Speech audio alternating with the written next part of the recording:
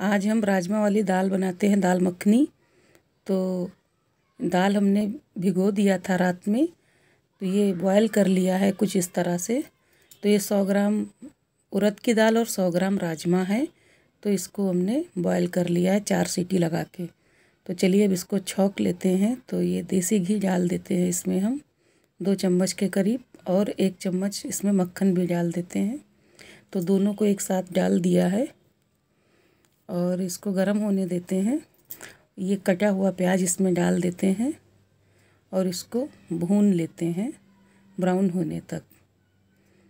तो इसे सौटे कर लेते हैं थोड़ा सा और ये क्रश की हुई एक चम्मच के करीब लहसुन है, उसको भी डाल देते हैं और एक हरा मिर्चा उसको भी काट के डाल दिया है।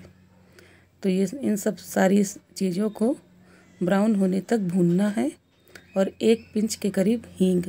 हींग बहुत अच्छा होता है डाइजेस्ट के लिए तो इसलिए इसको डाल देते हैं और स्वाद में भी काफ़ी अच्छा लगता है। तो हमारा देखिए प्याज ब्राउन हो गया है। अभी इसी स्टेज पे कटा हुआ टमाटर डाल देते हैं। इसको भी सोटे होने देते हैं और इसी के साथ में हम एक स्वाद अनुसार नमक डाल देंगे।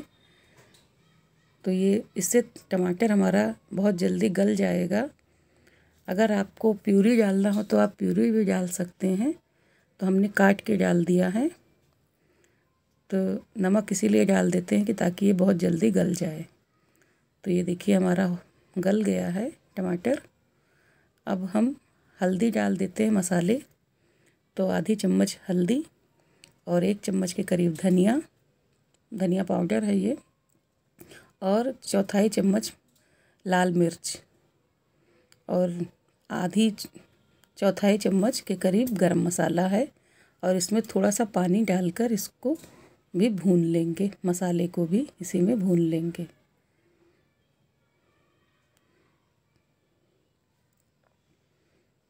तो इसे इस तरह से भून लेना है चला के और एक चम्मच के करीब कश्मीरी लाल मिर्च डाल देते हैं। तो देखिए साइड में देखिए, मसाला हमारा चिपक रहा है और ऑयल भी छोड़ दिया है इसने। मसाला भुन गया है। अब इसी स्टेज पे हम दाल को इसी में डाल देंगे, जो हमने बॉईल किया था। तो ये बहुत टेस्टी दाल बनती है फ्रेंड्स कभी कोई मेहमान आ जाए, तब भी आप बनाएँ बहुत अच्छा लगेगा। तो इस तरीके से इसको चला लेंगे। और थोड़ा सा गाढ़ा ही रहता है। तो थोड़ा सा इसमें अब हम पानी डाल देंगे आधा गिलास के करीब और इसको भी चला देंगे इस तरह से। अब इसे बॉयल आने देते हैं। इस तरह से। तो ये देखिए हमारा बॉयल हो गया है। खोल के देख लेते हैं। तो देखिए बॉयल हो गया है, हमारा बहुत अच्छा हो गया है, बन गया है, दाल हमारी पक गई है। तो चलिए अब इसे बंद कर देते हैं गैस को।